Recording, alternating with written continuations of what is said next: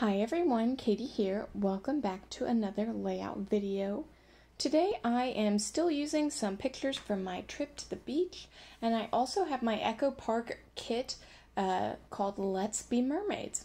Um, so I get out my kit and I'm flipping through the papers trying to decide um, and ultimately I am really drawn to that um, mostly blue paper that has kind of like a wave like design. Now it's a pretty paper by itself, um, but the waves really got me thinking about how it would be so cool to add a little bit of texture to this. So I decided to cut out um, all those, uh, I guess you call them waves, wavy lines, um, just as they are. So, you know, the blue stripes, I suppose you might call them, and then the white stripes.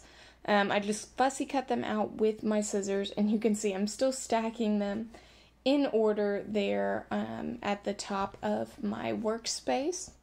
Now, this does take some time, um, and it is not exactly perfect. The lines are not exactly crisp, um, so if that's something that bothers you, you might want to use a more exact tool.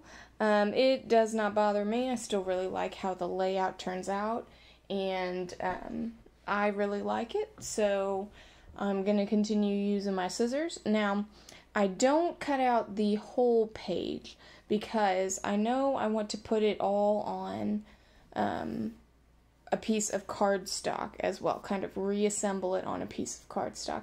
But I do know I want my photos to also like mimic that wave or go in that wave line, so that's why you see them up there together um, now that I'm putting things on top of them.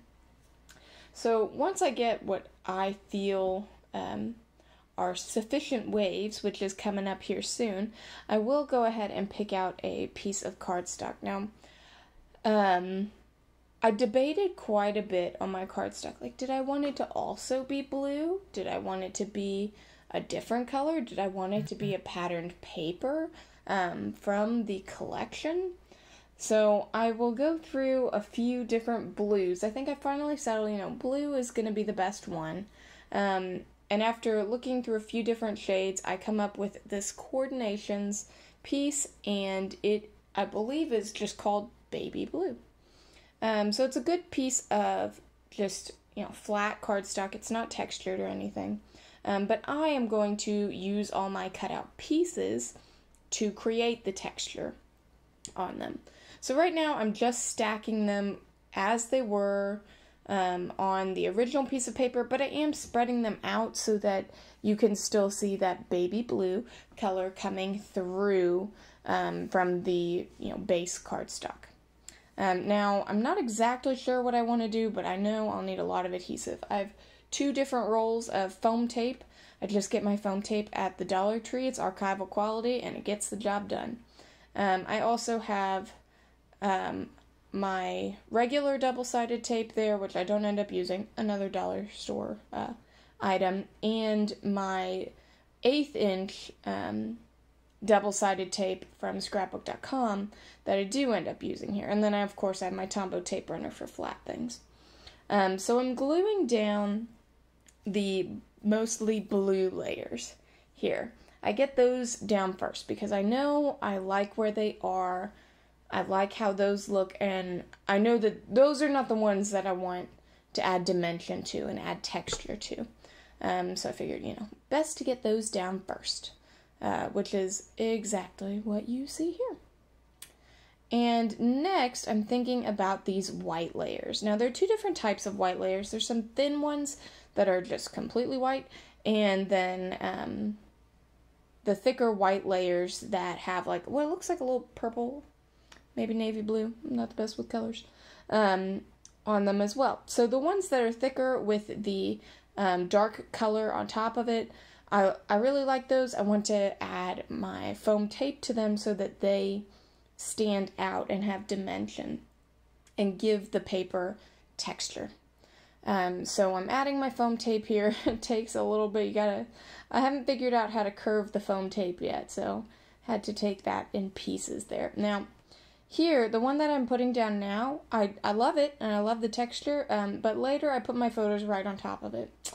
um, which was the original plan if you looked closely there in the beginning. But, you know, once I, I get in my head, you know, oh, okay, so we're adding foam tape to these, I just didn't even think about my pictures.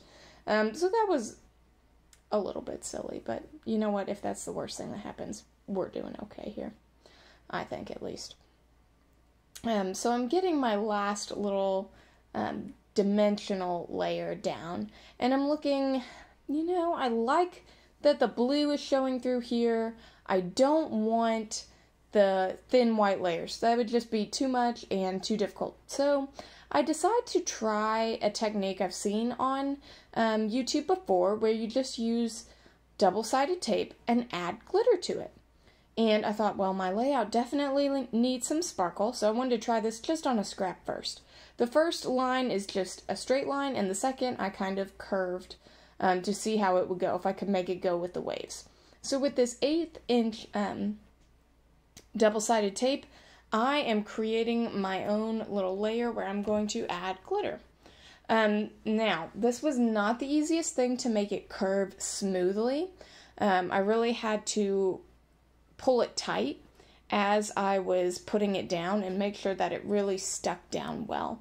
Um, or else it would get bubbles and gaps and it just wouldn't look nice and smooth like I wanted it to. Um, so if you're going to try this, make sure you are pulling your tape tight. Um, so I do it one layer at a time and really like one side of one layer at a time so I don't make a major mess with my glitter. But it really works out pretty well. I was surprised at how nice and clean. I don't know why I was surprised. It makes sense um, that the double sided tape would hold the glitter in a nice clean line. But I was surprised at how easy and clean um, and just pretty. It really added to my layout, I think. Um, so I am doing that, just three of them throughout my page. I think it just adds that little extra something um, that this paper really needed. And I feel like the background so far, as you can tell, is like the highlight. Um, it really has a lot going on. There is texture, there is dimension. Um, with the different patterns on the page, there is you know interest. There's something to look at no matter where you look, and um, that was you know the vibe I was going for. So I'm really happy with it. Now I have four little pictures. I believe they're all three by three. Actually, that wouldn't. Um, yes, there are four pictures, three by three. That's right. I cut them before we started um, filming.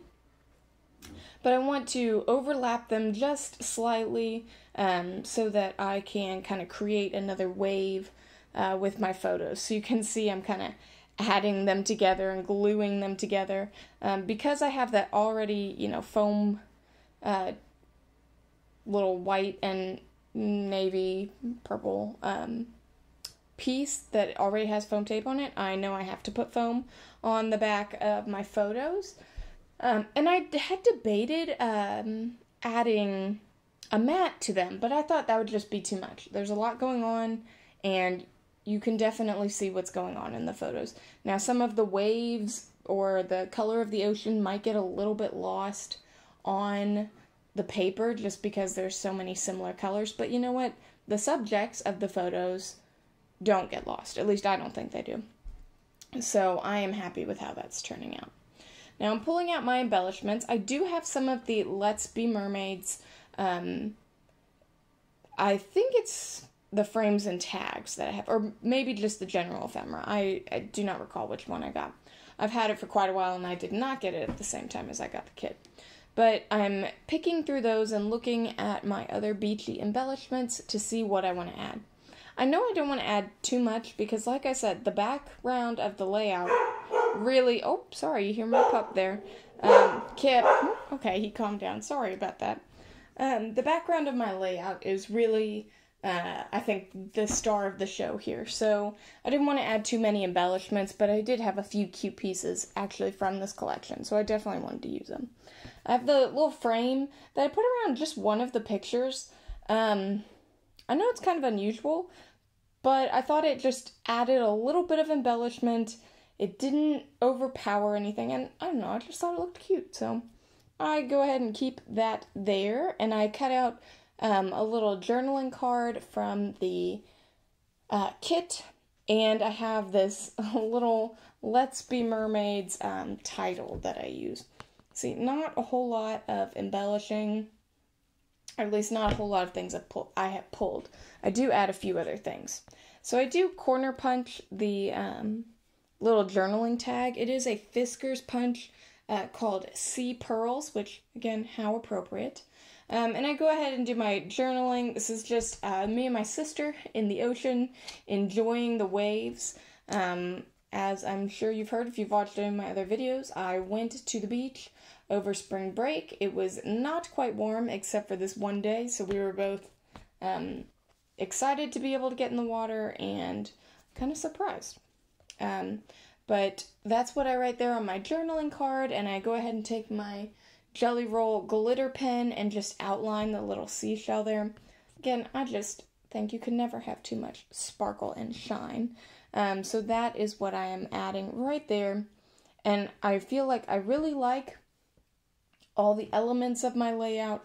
I don't want to add too many more, um, but I do feel like things are a little naked. You know, I want to cluster a little bit um, for my, you know, to have like little embellishment clusters.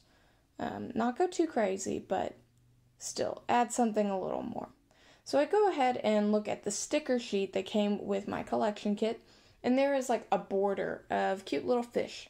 Um, and I thought they would make uh, a cute little, you know, sticker to put around um, add one to each of the little embellishment areas the title, the journaling, and the little frame.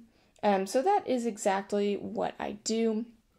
I add, since there are already three on the frame, I decide to put two up by the title.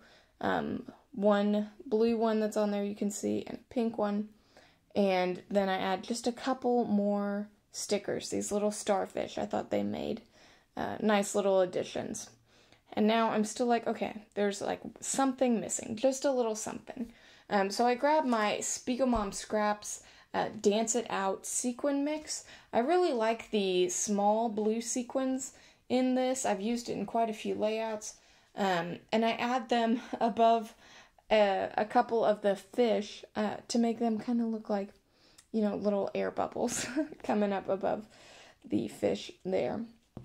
Um, and then I also like these kind of matte gold sequins. They're not super shiny, but they seem really beachy to me. Like I know the sequin mix was not intended to be beachy, but I feel like it just fits. So many of the colors just work so well. Um, so once I get those glued down, that is um, where I finish up my layout. I am super happy with how it turned out, and I would love uh, to see if you do any of the um, sparkles as well. Let me know. Thanks so much for watching. Bye.